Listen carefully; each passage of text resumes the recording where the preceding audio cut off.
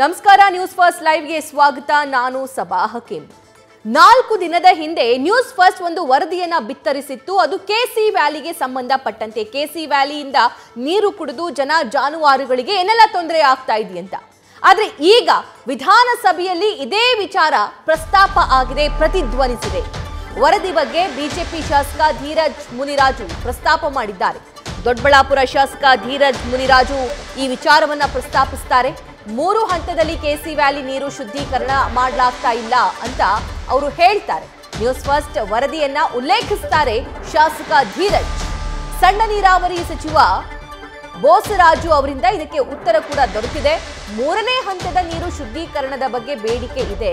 ಶುದ್ಧೀಕರಣ ಬೇಡಿಕೆಯನ್ನ ಪರಿಶೀಲಿಸ್ತೀವಿ ಅಂತ ಅಂದಿದ್ದಾರೆ ಅಲ್ಲ ಮಾನ್ಯ ಸಚಿವರೇ. ಆಲ್ರೆಡಿ ಅಲ್ಲಿ ಜನ ಆ ನೀರನ್ನ ಬಳಸ್ತಾ ಇದ್ದಾರೆ. ನೀವು ಈಗಲೂ ಕೂಡ ಪರಿಶೀಲಿಸ್ತೇ, ಪರಿಶೀಲಿಸ್ತೀವಿ, ಪರಿಶೀಲಿಸಲಾಗುತ್ತೆ ಅಂತ ಅಂದರೆ ಅಲ್ಲಿನ ಜನರ ಪರಿಸ್ಥಿತಿ ಏನಾಗಬೇಕು ಅಂತ? ಬೆಂಗಳೂರು ಗ್ರಾಮಾಂತರ ಜಿಲ್ಲೆ, ಕೋಲಾರ ಜಿಲ್ಲೆ, ಚಿಕ್ಕಬಳ್ಳಾಪುರ ಜಿಲ್ಲೆಗಳ ಹಲವಾರು ಕೆರೆಗಳಿಗೆ, ಬೆಂಗಳೂರು ಗ್ರಾಮಾಂತರ ಜಿಲ್ಲೆ ಹಲವಾರು ಕೆರೆಗಳಿಗೆ ಬೆಂಗಳೂರಿನ ಕೆ ಸಿ ವ್ಯಾಲಿ ಮತ್ತು ಹೆಚ್ ಎನ್ ವ್ಯಾಲಿ ಯೋಜನೆಯ ಅಡಿಯಲ್ಲಿ ಬೆಂಗಳೂರು ಕೊಳ್ಚೆ ನೀರನ್ನು ಎರಡು ಹಂತಗಳಲ್ಲಿ ಶುದ್ಧೀಕರಿಸಿ ಇವತ್ತು ನೀರು ಹರಿಸಲಾಗ್ತಿದೆ ಸಭಾಧ್ಯಕ್ಷರೇ. ಇವತ್ತು ಬರಗಾಲದ ಪರಿಸ್ಥಿತಿಯಲ್ಲಿ ನೀರೇನು ಹರಿಸ್ತಾ ಇದ್ದಾರೆ? ಈ ಸಂಸ್ಕರಿಸಿದಂಥ ನೀರಿನಲ್ಲಿ ಭಾರಿ ಪ್ರಮಾಣದ ಮೆಟಲ್ಸು ರಾಸಾಯನಿಕಗಳು ರಾಸಾಯನಿಕಗಳು ಬೇರೆ ಬೇರೆ ರೀತಿಯಾದಂಥ ವಿಷಕಾರಿ ಅಂಶಗಳು ಪತ್ತೆಯಾಗಿದೆ ಸಭಾಧ್ಯಕ್ಷರೇ. ಈ ನೀರನ್ನು ಇವತ್ತು ಯಾವುದೇ ರೀತಿಯಾದಂಥ ಪ್ರಾಣಿಗಳಾಗ್ಬೋದು, ದನ, ಕರು, ಹಸುಗಳಾಗ್ಬೋದು ಕುಡಿತಾನೇ ಇಲ್ಲ ಸಭಾಧ್ಯಕ್ಷೆ ಅಂತರ್ಜಲ ಸಂಪೂರ್ಣವಾಗಿ ಈ ನೀರಿಂದ ಕಲುಷಿತ ಆಗ್ತಾ ಇದೆ. ಜನಸಾಮಾನ್ಯರಿಗೆ ಆರೋಗ್ಯದ ವಿಚಾರದಲ್ಲಿ ತುಂಬ ಸಮಸ್ಯೆಗಳಾಗ್ತಾ ಇದೆ ಸಭಾಧ್ಯಕ್ಷೆ ಸರ್ಕಾರ ದಯವಿಟ್ಟು ಕೆ ಸಿ ವ್ಯಾಲಿ ಮತ್ತು ಹೆಚ್ ಎನ್ ವ್ಯಾಲಿ ನೀರನ್ನು ಮೂರನೇ ಮತ್ತು. ಮೂರನೇ ಹಂತದ ಸಂಸ್ಕರಣೆ ಮಾಡಲಿಕ್ಕೆ ಸರ್ಕಾರದ ಒಂದು ಸಚಿವರು ನೀರಾವರಿ ಸಣ್ಣ ನೀರಾವರಿ ಸಚಿವರ ಒಂದು ಗಮನವನ್ನು ಸೆಳೀಲಿಕ್ಕೆ ಇಚ್ಛೆ ಪಡ್ತೀನಿ ಸರ್. ಸನ್ಮಾನ್ಯ ಅಧ್ಯಕ್ಷರೇ, ಈ K C valley H N ವ್ಯಾಲಿಲಿಂದ ಕೆರೆಗಳಿಗೆ ನೀರು ತುಂಬಿಸಿ ಅದು ಅಂತರ್ಜಲವನ್ನು ಹೆಚ್ಚಿಸುವಂಥ ಒಂದು ಪ್ರಯತ್ನಕ್ಕೆ ಈ ಈ ಕ- ಯೋಜನೆ ಜಾರಿಗೊಳಿಸಿದರು. ಬಟ್ ಇಲ್ಲಿವರೆಗೂ ಅವರೇನೆಂದರೆ ಯಾವುದೋ ಒಂದು ನ್ಯೂಸ್ ಪೇಪರ್ನಲ್ಲಿ ಬಂದಿದೆ ಅಂತೇಳಿ ಇದರಲ್ಲಿ ಅವರು ಸೂನ್ಯವೇಳದಲ್ಲಿ ಪ್ರಶ್ನೆಯಲ್ಲಿ ಕೇಳಿದ್ದಾರೆ. ಯಾವುದು war news of first Kannada ಚಾನಲ್ನಲ್ಲಿ ಬಂದಿದೆ ಅಂತೇಳಿ. ಬಟ್ ಮಂಜುನಾಥ್ ಕೂತ್ಕೊಳ್ಳಿ. ಝೀರೋ ಅವರು ಇದು. ಈ ಎರಡು ಯೋಜನೆಗಳಿಂದ ಕೆ ಸಿ ಬಿ ಅಲ್ಲಿ ಆಯ್ತು ನಾಳೆ ಕ್ವಶನ್ ಕೇಳಿ calling C P C B H G T ಮಾನದಂಡಗಳ ಪ್ರಕಾರ ಡೈಲಿ ಏನೇನು ಪ್ಯಾರಾಮೀಟರ್ಸ್ದ ಪ್ಯಾರಾಮೀಟರ್ ಪ್ರಕಾರ ಎವ್ರಿ ಡೇ ಚೆಕ್ ಮಾಡಿ ಅವ್ರು ರಿಪೋರ್ಟ್ ಕೊಡ್ತಿರ್ತಾರೆ. ಸೊ ಅವ್ರು ಹೇಳಿರ್ತಕ್ಕಂಥದ್ದು ಇದು ಭಾಳ ಜನರಿಗೆ ತೊಂದರೆ ಆಗ್ತಾ ಇದೆ ಪ್ರಾಣಿಗಳಿಗೆ ತೊಂದರೆ ಆಗ್ತಾ ಇರ್ತದೆ society for information and development ಭಾರತೀಯ ವಿಜ್ಞಾನ ಸಂಸ್ಥೆಯವರು ಸಂಶೋಧನೆ ಕೈಗೊಂಡು ಜುಲೈ ಎರಡು ಸಾವಿರದ ಇಪ್ಪತ್ತ್ಮೂರರಲ್ಲಿ ವರದಿ ವರದಿ ನೀಡಿದ್ದಾರೆ. ಆ ಇದರಲ್ಲಿ ಯಾವುದೇ ತೊಂದರೆ ಇಲ್ಲ ಅಂತೇಳಿ ಕ್ಲಿಯರಾಗಿ ವರದಿ ನೀಡಿದ್ದಾರೆ. ಯಾಕಂದರೆ ಸರ್ಕಾರ ಜನರಿಗಾಗಲಿ ಮತ್ತು ಪಕ್ಷಿಗಳಿಗಾಗಲಿ ಯಾವುದೇ ತೊಂದರೆ ಆಗಬಾರ್ದು ಅನ್ನೋದಕ್ಕೆ ರೆಗ್ಯುಲರ್ ಆಗಿ ಇದನ್ನು ವಾಚ್ ಮಾಡ್ತಾ ಇದ್ದಾರೆ. ಎರಡು ಸಂಸ್ಥೆಗಳಿಂದ ಪ್ರತಿನಿತ್ಯ ಇವು ನೀರನ್ನು ಪ್ಯಾರಾಮೀಟರ್ಸ್ ಪ್ರಕಾರ ಐತೆ ಇಲ್ಲ ಅಂತೇಳಿ ಚೆಕ್ ಮಾಡಿ ರೆಕಾರ್ಡ್ ಮಾಡ್ತಾ ಇದ್ದಾರೆ. ಹಾಗಾಗಿ ಇಲ್ಲಿವರೆಗೂ ನಾನು ಕೂಡ ತ್ರೀ ಮೂರು ನಾಲ್ಕು ಬಾರಿಗೆ ವಿಸಿಟ್ ಮಾಡಿದ್ದೀನಿ ಎರಡು ಇದೇ ರೀತಿಯಾಗಿ ಪೇಪರ್ಗಳು ಬಂದರೆ ಮೇನುಗಳು ಸತ್ತಿದೆ ಅಂತ ಬಂದರು. ವಿತಿನ್ ತ್ರೀ ಅವರ್ಸ್ನಲ್ಲಿ ನಾನು ಸ್ಪಾಟ್ಗೆ ಹೋದೆ ಎಲ್ಲ ವಿತ್ ಮೈ ಆಫೀಸರ್ಸ್ನೆಲ್ಲ ಕರ್ಕೊಂಡೋಗಿ ಯಾರು ವರದಿ ಮಾಡಿದಾರೆ ಆ ಪೇಪರ್ನ ಸಹಿತ ಅಲ್ಲಿ ಕರೆಸಿದೆ ನರಸಾಪುರ ಕೆರೆ ಹತ್ರ. ಏಕ್ ಆರಾಮಾಗಿ ಅವೆಲ್ಲ ಮೇನುಗಳೆಲ್ಲ ಫಸ್ಟ್ ಕ್ಲಾಸಾಗಿ ಬೆಳೆದು ಇದ್ದಾವೆ ಹಾಗಾಗಿ ಯಾವುದೇ ಆ ರೀತಿಯಾದಂಥ ತಾವು ಕೊಟ್ಟಿರ್ತಕ್ಕಂಥ ಇದರಲ್ಲಿ ಯಾವುದೇ ಆ ರೀತಿ ಇಲ್ಲ. ತಾವು ಕೇಳ್ತಕ್ಕಂಥದ್ದು ಸಂಸ್ಕರಣ ಮೂರನೋದು ನಾಲ್ಕನೋದು ಆಗಬೇಕೆಂಬುದು ಜನರ ಬೇಡಿಕೆ ಇದೆ. ಬಟ್ ಅದನ್ನು ಸರ್ಕಾರ ಪರಿಶೀಲ ಪರಿಶೀಲನೆ ಮಾಡ್ತಾ ಇದೆ. ಸಂದರ್ಭ ಬಂದಾಗ ಅನುದಾನದ ಫಂಡ್ಸ್ ಎಲ್ಲ ಇದ್ದಾಗ ಮುಂದಿನ ಕ್ರಮ ಸರ್ಕಾರ ಸಭಾಧ್ಯಕ್ಷ ಇದರಲ್ಲಿ ಒಂದು ವಿಷಯ. ಸಭಾಧ್ಯಕ್ಷ ಏನಿಲ್ಲ ನೀವು ಯಾವ್ದಾದ್ರು ಒಂದು ಕೆರೆಯಲ್ಲಿ ದನ ಕರು ಆ ನೀರು ಕುಡಿಯುತ್ತಾ ನೋಡಬೇಕು ಸಚಿವರು. ದಯವಿಟ್ಟು ಆ ಸಂಸ್ಕರಿಸುವಂತ ಎರಡನೇ ಸರ್. ಸರಿ ಸರ್ ಇವತ್ತು ಸರ್ ಆ, ನಾನು ಹೇಳ್ತೇನೆ. ಸರ್ ಮಾನ್ಯ ಅಧ್ಯಕ್ಷರೇ ಸದಸ್ಯರು ಸರ್ ಒಂದು ನಿಮಿಷ ಸರ್ ಸದಸ್ಯರು ಏನಾದರೂ ಹೇಳಲಿ ಅವ್ರಿಗೆ ಸ್ವಾತಂತ್ರ್ಯ ಇದೆ, ಆದರೆ ವಾಸ್ತವಾಂಶ ನಾವು ಸುಮ್ಮನೆ ಕೂತ್ಕೊಂಡು ತಪ್ಪು ಮಾಹಿತಿಗಳು ಜನಗಳಿಗೆ ಹೋಗಬಾರ್ದು. ಸರ್ಕಾರ, ಅದು ಹಿಂದೆ ಇದ್ದಂಥ ಸರ್ಕಾರ ಬೊಮ್ಮಾಯಿಯವರು ಇಲ್ಲಿಲ್ಲ, ಈಗ ಎದ್ದು ಹೋಗಿದ್ದಾರೆ. ನಾನು ಅಲ್ಲೇ ನಿಂತ್ಕೊಂಡು ಈ ಯೋಜನೆಯನ್ನು ಎರಡನೇ ಹಂತ, ಮೂರನೇ ಹಂತ ವಿಸ್ತರಣೆ ಕೊಟ್ಟಾಗ ಧನ್ಯವಾದ ಹೇಳಿದ್ದೇನೆ.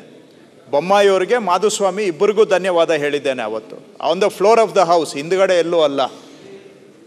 ಅವರು ಅರ್ಥ ಮಾಡಿಕೊಂಡು ಯೋಜನೆ ಮಹತ್ವವನ್ನು ಮಾಧುಸ್ವಾಮಿಯವರು ಬೆನ್ನತ್ತಿ ಬೊಮ್ಮಾಯಿಯವರು ಬಂದ ಮೇಲೆ ಎಕ್ಸ್ ಅದಕ್ಕೆ ವೃಷಭಾವತಿ ವ್ಯಾಲಿ ಯೋಜನೆಗೆ ಅನುಮತಿಯನ್ನು ಕೊಡಿಸಿದ್ರು.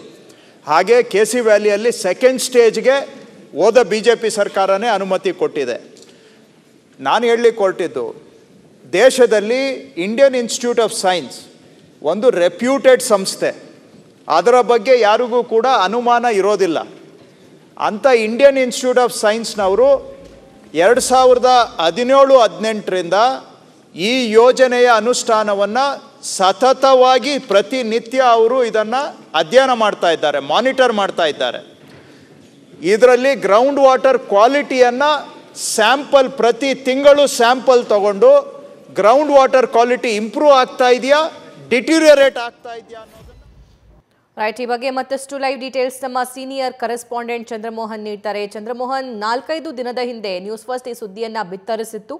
ಈ ಕೆ ಸಿ ವ್ಯಾಲಿಯನ್ನ ಕೇವಲ ಎರಡು ಹಂತದಲ್ಲಿ ಮಾತ್ರ ಸಂಸ್ಕರಣೆ ಮಾಡಲಾಗ್ತಾ ಇದೆ. ಅದರಿಂದ ಆಗ್ತಾ ಇರುವಂತಹ ಅನಾನುಕೂಲ ಜಾನುವಾರುಗಳಿಗೆ ಜನರಿಗೆ ಏನೆಲ್ಲ ತೊಂದರೆ ಆಗ್ತಿದೆ ಅನ್ನೋದನ್ನ ನಾವು ಸರ್ಕಾರದ ಗಮನವನ್ನು ಕೂಡ ಸೆಳೆದಿದ್ವಿ. ಇವತ್ತು ಅದೇ ವಿಚಾರವಾಗಿ ಪ್ರಸ್ತಾಪ ಮಾಡಿದ್ದಾರೆ ಶಾಸಕ ಧೀರಜ್ ಮುನಿರಾಜು ಅವರು. ಅದೇ ರೀತಿಯಾಗಿ ಅವರ ಪ್ರಶ್ನೆಗಳಿಗೆ ಸಚಿವ ಬೋಸರಾಜು ಅವರು ಕೂಡ ಉತ್ತರ ಕೊಟ್ಟಿದ್ದಾರೆ. ಮೂರು ಮತ್ತು ನಾಲ್ಕನೇ ಹಂತದಲ್ಲಿ ಅದನ್ನ ಸಂಸ್ಕರಣೆ ಮಾಡಿ ಆ ನೀರು ಬಿಡುವಂತಹ ಕೆಲಸ ಆಗಬೇಕು ಅನ್ನೋ ಡಿಮ್ಯಾಂಡ್ ಇದೆ, ಬೇಡಿಕೆ ಇದೆ. ಅದನ್ನು ನಾವು ಪರಿಶೀಲಿಸ್ತೀವಿ ಅಂತ ಹೇಳಿದ್ದಾರೆ. ಆದರೆ ಸದ್ಯಕ್ಕೆ Institute of Science and Technology ಈ ನೀರನ್ನು ಜಾನುವಾರುಗಳು ಬಳಸೋದ್ರಿಂದ ಅಥವಾ ಬೇರೆ ಬೇರೆ ಗದ್ದೆ, ತೋಟಗಳಿಗೆ ನೀರು ಹಾಯಿಸೋದ್ರಿಂದ ಏನೂ ತೊಂದರೆ ಆಗಲ್ಲ ಅನ್ನುವಂಥ ರಿಪೋರ್ಟನ್ನು ಕೊಟ್ಟಿದ್ದಾರೆ. ಇದು ಅದರ ವಾಸ್ತವಾಂಶ ಅಂತ ಅಂದಿದ್ದಾರೆ. ಮತ್ತಷ್ಟು ಮಾಹಿತಿ ಚಂದ್ರಮೋಹನ್ ನೀಡ್ತಾರೆ. ಚಂದ್ರಮೋಹನ್ ಕೆ ಸಿ ವ್ಯಾಲಿ ಕಂಟಕದ ಬಗ್ಗೆ ನ್ಯೂಸ್ ಫಸ್ಟ್ ಸುದ್ದಿ ಮಾಡಿತ್ತು. ಸೊ ಇವತ್ತು ಸದನದಲ್ಲಿ ಅದರ ಬಗ್ಗೆ ಮಾತುಕತೆ ಕೂಡ ಆಗಿದೆ. ಅದನ್ನು ಪರಿಶೀಲಿಸ್ತೀವಿ ಅಂತ ಕೂಡ ಸಚಿವರು ಹೇಳ್ತಿದ್ದಾರೆ. ಡೀಟೇಲ್ಸ್ ನೀಡ್ತಾ ಹೋಗೋದಾದ್ರೆ. ಹೌದು ಸಭಾ, ಕಳೆದ ಶುಕ್ರವಾರ ಮತ್ತು ಶನಿವಾರ News First Kannada channel K C valley ಮತ್ತು ಎಚ್ ಎನ್ ವ್ಯಾಲಿ ನೀರಿನಿಂದಾಗಿ ಕೋಲಾರ ಮತ್ತು ಚಿಕ್ಕಬಳ್ಳಾಪುರ ಜಿಲ್ಲೆಗಳಲ್ಲಿ ಆಗ್ತಾ ಇರುವಂತಹ ಸಮಸ್ಯೆಗಳ ಬಗ್ಗೆ ವಿಸ್ತೃತವಾದಂಥ ವರದಿಯನ್ನು ಮಾಡಿತ್ತು. ಮುಖ್ಯವಾಗಿ ಕೆ ಸಿ ವ್ಯಾಲಿ ಮತ್ತು ಎಚ್ ಎನ್ ವ್ಯಾಲಿ ನೀರನ್ನು ಈಗ ಕೋಲಾರ ಮತ್ತು ಚಿಕ್ಕಬಳ್ಳಾಪುರ ಜಿಲ್ಲೆಯ ಕೆರೆಗಳಿಗೆ ಹರಿಸಲಾಗ್ತಾ ಇದೆ. ಆದರೆ ಇದನ್ನು ಎರಡು ಹಂತದಲ್ಲಿ ಮಾತ್ರನೇ ನೀರನ್ನು ಶುದ್ಧೀಕರಣ ಮಾಡಿ ಕೆರೆಗಳಿಗೆ ಹರಿಸಲಾಗ್ತಾ ಇದೆ. ಈ B W S S B ಎರಡು ಹಂತದಲ್ಲಿ ಶುದ್ಧೀಕರಣ ಮಾಡ್ತಾ ಇರೋದ್ರಿಂದಾಗಿನೇ ಈಗ ಮುಖ್ಯವಾಗಿ ಈ ನೀರಿನಲ್ಲಿ ಇನ್ನೂ ಕೂಡ ಸಾಕಷ್ಟು ರಾಸಾಯನಿಕ ಅಂಶಗಳಿವೆ ಎವಿಮಿಟಸ್ನ ಅಂಶಗಳಿವೆ. ನೀರು ಸಂಪೂರ್ಣವಾಗಿ ಶುದ್ಧ ಆಗ್ತಾ ಇಲ್ಲ. ಈ ನೀರು ಈಗ ಮುಖ್ಯವಾಗಿ ಅಂತರ್ಜಲದ ಮರುಪೂರ್ಣಕ್ಕೂ ಯೋಗ್ಯವಲ್ಲ ಅಂತ ಬೆಂಗಳೂರಿನ ಐ ಎ ವಿಜ್ಞಾನಿ ಟಿ ರಾಮಚಂದ್ರ ಅವರೇ ಸರ್ಕಾರಕ್ಕೆ ವರದಿಯನ್ನು ಕೊಟ್ಟಿದ್ದಾರೆ ಮತ್ತು ಹೈಕೋರ್ಟ್ಗೂ ಕೂಡ ವರದಿಯನ್ನು ಸಲ್ಲಿಸಿದ್ದಾರೆ. ಆದರೆ ಕೆಲವೊಂದು ಖಾಸಗಿ ಏಜೆನ್ಸಿಗಳು ಈ ನೀರು ಅಂತರ್ಜಲ ಮರುಪೂರಣಕ್ಕೆ ಯೋಗ್ಯ ಅಂತೇಳಿ ವರದಿಯನ್ನು ಕೊಟ್ಟಿವೆ. ಆ ವರದಿಗಳ ಆಧಾರದ ಮೇಲೆ ಸರ್ಕಾರ ಬೆಂಗಳೂರಿನ ಕೊಳಚೆ ನೀರನ್ನು ಬಿ ಮೂಲಕ ಎರಡು ಹಂತದಲ್ಲಿ ಮಾತ್ರವೇ ಶುದ್ಧೀಕರಣವನ್ನು ನಡೆಸಿ ಕೋಲಾರ ಮತ್ತು ಚಿಕ್ಕಬಳ್ಳಾಪುರ ಜಿಲ್ಲೆಯ ಕೆರೆಗಳಿಗೆ ಹರಿಸ್ತಾ ಇದೆ. ಇದರಿಂದಾಗಿ ಈಗ ಕೋಲಾರ ಮತ್ತು ಚಿಕ್ಕಬಳ್ಳಾಪುರ ಜಿಲ್ಲೆಯಲ್ಲಿ ಜನರಿಗೆ ಆರೋಗ್ಯದ ಸಮಸ್ಯೆಗಳು ಎದುರಾಗ್ತಾ ಇವೆ. ಮುಖ್ಯವಾಗಿ ಜನರಲ್ಲಿ ಮೈಕೈ ನೋವು, ಮೂಳೆ ಸವೆತ ಮತ್ತು ಕಿಡ್ನಿ ಕಲ್ಲಿನ ಸಮಸ್ಯೆ ಸೇರಿದಂತೆ ಆರೋಗ್ಯ ಸಮಸ್ಯೆಗಳು ಎದುರಾಗಿವೆ. ಜೊತೆಗೆ ಮುಂದಿನ ದಿನಗಳಲ್ಲಿ ದೀರ್ಘಕಾಲದಲ್ಲಿ ಕ್ಯಾನ್ಸರು ಮತ್ತು ಅಂಗಾಂಗ ವೈಫಲ್ಯದ ಭೀತಿ ಕೂಡ ಇದೆ. ಏಕೆಂತಂದರೆ ಕೋಲಾರ ಮತ್ತು ಚಿಕ್ಕಬಳ್ಳಾಪುರ ಜಿಲ್ಲೆಯಲ್ಲಿ ಕುಡಿಯುವ ನೀರಿಗೆ ಬಳಸ್ತಕ್ಕಂಥ ಬೋರ್ವೆಲ್ಗಳೆಲ್ಲವೂ ಕೂಡ ಕೆರೆಗಳಲ್ಲೇ ಇವೆ. ಈ ಕೆರೆಗಳಲ್ಲಿ ಈಗ ಅಂತರ್ಜಲವೆಲ್ಲವೂ ಕೂಡ ಈ ಕಲುಷಿತ ನೀರಿನಿಂದ ಕೂಡಿದೆ. ಹೀಗಾಗಿ ಈ ನೀರನ್ನೇ ಜನ ಅಲ್ಲಿ ಈಗ ಸೇವನೆ ಮಾಡಬೇಕಾದಂಥ ಪರಿಸ್ಥಿತಿ ಇದೆ. ಇದರಿಂದಾಗಿ ಈಗ ಜನ ಕೇಳ್ತಾ ಇರ್ತಕ್ಕಂಥದ್ದು ಏನು ಅಂದರೆ, ಈಗ ಕೆ ಸಿ ವ್ಯಾಲಿ ಮತ್ತು ಎಚ್ ಎನ್ ವ್ಯಾಲಿ ಮೂಲಕ ನೀರನ್ನು ಕೆರೆಗಳಿಗೆ ಹರಿಸ್ತಾ ಇದ್ದೀರಾ? ಆದರೆ ಬೆಂಗಳೂರಿನ ಕೊಳಚೆ ನೀರನ್ನು ಎರಡು ಹಂತದಲ್ಲಿ ಮಾತ್ರ ಶುದ್ಧೀಕರಣ ಮಾಡಿದ್ರೆ ಸಾಕಾಗೋದಿಲ್ಲ. ಬದಲಿಗೆ ಮೂರು ಮತ್ತು ನಾಲ್ಕು ಹಂತಗಳಲ್ಲಿ ನೀರನ್ನು ಶುದ್ಧೀಕರಣ ಮಾಡಬೇಕು. ಟ್ರೆಷರಿ ಟ್ರೀಟ್ಮೆಂಟನ್ನು ಕೂಡ ಮಾಡಬೇಕು. ಅದಾದ ಬಳಿಕವೇ ನೀರನ್ನು ಕೆರೆಗಳಿಗೆ ಅಂತರ್ಜಲ ಮರುಪೂರ್ಣಕ್ಕೆ ನೀವು ತುಂಬಿಸ್ಬೇಕು ಅನ್ನೋ ಒಂದು ಮಾತನ್ನ ಹೇಳ್ತಾ ಇದ್ದಾರೆ, ಒತ್ತಾಯವನ್ನು ಮಾಡ್ತಾ ಇದ್ದಾರೆ. ಈ ಜನರ ಬೇಡಿಕೆಯನ್ನ ಈಗ ನ್ಯೂಸ್ ಫಸ್ಟ್ ಕೂಡ ವರದಿಯ ಮೂಲಕವಾಗಿ ಸರ್ಕಾರದ ಗಮನಕ್ಕೆ ತಂದಿತ್ತು. ಈ ರಾಜ್ಯದ ಎಂ ಎಲ್ ಗಮನಕ್ಕೂ ಕೂಡ ತಂದಿತ್ತು. ಈ ಒಂದು ನ್ಯೂಸ್ ಫಸ್ಟ್ನ ವರದಿ ಇವತ್ತು ರಾಜ್ಯದ ವಿಧಾನಸಭೆ ಅಧಿವೇಶನದಲ್ಲೂ ಕೂಡ ಪ್ರತಿಧ್ವನಿಸಿದೆ. ದೊಡ್ಡಬಳ್ಳಾಪುರದ BJP M L A Dheeraj Muniraju ಅವರು ನ್ಯೂಸ್ ಫಸ್ಟ್ನ ವರದಿಯ ಬಗ್ಗೆ ವಿಧಾನಸಭೆ ಅಧಿವೇಶನದಲ್ಲಿ ಪ್ರಸ್ತಾಪವನ್ನು ಮಾಡಿ ಸರ್ಕಾರಕ್ಕೆ ಪ್ರಶ್ನೆಯನ್ನು ಕೇಳಿದ್ದಾರೆ. ಮುಖ್ಯವಾಗಿ ಕೆ ಸಿ ವ್ಯಾಲಿ ಮತ್ತು ಎಚ್ ಎನ್ ವ್ಯಾಲಿ ನೀರಿನಿಂದ ಆ, ಕೋಲಾರದ ವಿಭಜಿತ ಜಿಲ್ಲೆಯಲ್ಲಿ ಸಮಸ್ಯೆ ಆಗ್ತಾ ಇದೆ. ಹೀಗಾಗಿ ಮೂರನೇ ಹಂತದಲ್ಲಿ ನೀರನ್ನು ಶುದ್ಧೀಕರಣ ಮಾಡಬೇಕು. ಇದ್ರ ಬಗ್ಗೆ ಸರ್ಕಾರ ಗಮನ ಹರಿಸಬೇಕು ಅನ್ನೋದು ಒತ್ತಾಯವನ್ನು ಮಾಡಿದ್ದಾರೆ. ಈಗ ಸಣ್ಣ ನೀರಾವರಿ ಸಚಿವ ಎನ್ ಎಸ್ ಬಸವರಾಜ್ ಅವರು ಕೂಡ ಇದಕ್ಕೆ ಉತ್ತರವನ್ನು ಕೊಟ್ಟಿದ್ದಾರೆ. ಮುಖ್ಯವಾಗಿ ಮೂರನೇ ಹಂತದಲ್ಲಿ ನೀರು ಶುದ್ಧೀಕರಣದ ಬೇಡಿಕೆ ಇದೆ. ಇದನ್ನು ಸರ್ಕಾರ ಪರಿಶೀಲಿಸುತ್ತೆ. ಇದ್ರ ಬಗ್ಗೆ ಗಮನ ಹರಿಸುತ್ತೆ ಅನ್ನುವ ಉತ್ತರವನ್ನು ಕೂಡ ಕೊಟ್ಟಿದ್ದಾರೆ. ಇನ್ನು ಮೂಲತಃ ಕೋಲಾರ ಜಿಲ್ಲೆಯವರೇ ಆದಂತಹ ಕೆ ಕೃಷ್ಣ ಬೈರೇಗೌಡ ಕೂಡ ಇದ್ರ ಬಗ್ಗೆ ಉತ್ತರವನ್ನು ಕೊಟ್ಟಿದ್ದಾರೆ. ಮುಖ್ಯವಾಗಿ ಟ್ರೆಷರಿ ಟ್ರೀಟ್ಮೆಂಟ್ನ ಬಗ್ಗೆನೂ ಕೂಡ ನಾವು ಚರ್ಚೆಯನ್ನು ಮಾಡೋಣ ಅನ್ನೋದು ಮಾತನ್ನ ಸಚಿವ ಕೃಷ್ಣ ಬೈರೇಗೌಡ ಕೂಡ ಸದನದಲ್ಲೇ ಹೇಳಿದ್ದಾರೆ. ಸಭಾ. Thank you Chandramohan. News First ನಿರ್ಭೀತಿಯಿಂದ ನಿಮ್ಮ ಪರವಾಗಿ.